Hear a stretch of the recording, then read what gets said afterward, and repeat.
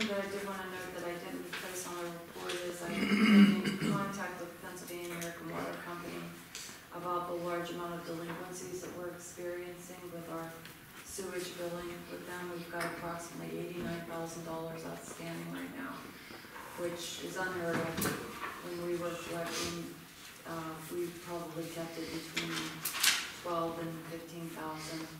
Uh, so I've asked them to address that, or we would start addressing it. So as of today, um, twenty-eight thousand dollars, um, in sewage charges, um, were going to go to, um, homes were going to, their waters were gonna be shut off today. And these are houses that they sent me the list, and they're, they are twelve hundred dollars, fifteen hundred dollars. We never let them get up that high. And when they get that high, it's impossible for people to pay them. So I think we're going to have to, to look at something. Um, And if we have to get involved in collections, we'll do that. Um, but when I saw the list, it was just kind of a little, uh, disappointing because, um, there's no way that the normal individual can, if they can't pay the sewage bill, they can't pay an eighteen hundred dollar sewage bill. We paying them to do the We're collection? paying them to do the collections, and I've addressed this before with them, and they started to send out delinquencies, and they start, started to shut off water, but over the past six months, I have seen no difference. Um, when I get my listing, it is always between eighty and ninety thousand dollars outstanding, which we can't afford that. We've got sanitary sewer projects and bills that are, you know, on our bill list that we've gotta pay, and that's money just sitting out there, so. Really that same amount of arrears on the water bills on the same houses?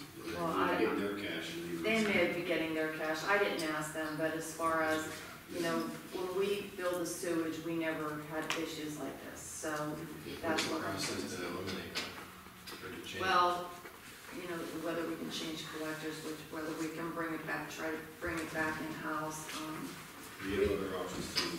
yeah, we, we do have software to do that. It was just that, it would take one person, um, specifically to do that job. You know, with the staff that we had, it's it wasn't working, it was cheaper to send it out, but we're not getting the results that we should get, so What's the, what's the appropriate point that someone's water should be shut off? When they're two months delinquent, three?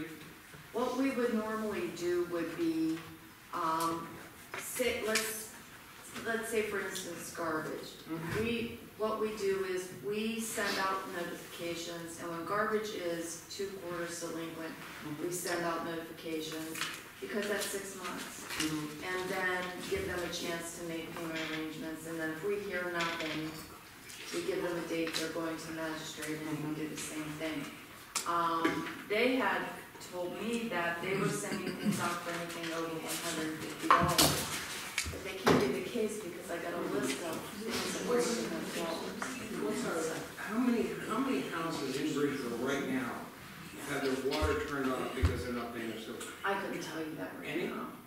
Yes, Okay, yes. so we do have What- some What that shut happens is, is they bill the property owner and we get that money and then we in turn have to pay Pennsylvania American Water Company the money for the shut off and the Right. return on. So they do do it, but not enough, No, if they, that's where I think the issue is, is they're not doing it enough. no. And I think if we, if we tell them, you know, again, this is, this is council that's, you know, saying, hey, we're gonna shut off your water if you're three months delinquent. Or what did you say, hundred and fifty dollars No- something? Normally, what we would do would be, because some people have five dollar sewage bills, some people Mhm. have two hundred dollar sewage bills, whatever.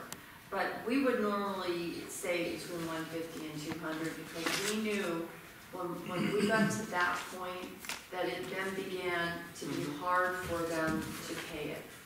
And we worked with them, we made payment arrangements with them, um, and I'm just not, It sounds like the follow-up.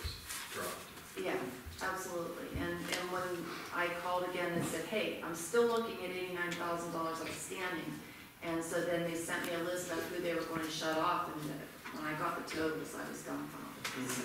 Because they're not, they're not shutting off at the level that we No, think they We should. feel that they should And-. It's for, for us to communicate to them, that's the level.